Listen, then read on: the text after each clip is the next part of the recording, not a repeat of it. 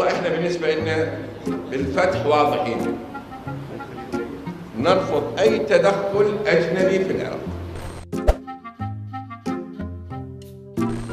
العراقيين المفروض أن يقوموا تمثال لقاسم سليماني لأن خلصهم من داعش. لن ولن نسمح بأي تدخل أجنبي. الإمام إذا يقول حرب حرب. وإذا صار تدخل اجنبي صدقوني لا استقرار في العراق.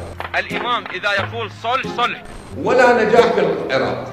نعم نحن مع الإمام. وشعارنا يجب أن تكون الحكومة القادمة. قرار عراقي الامتياز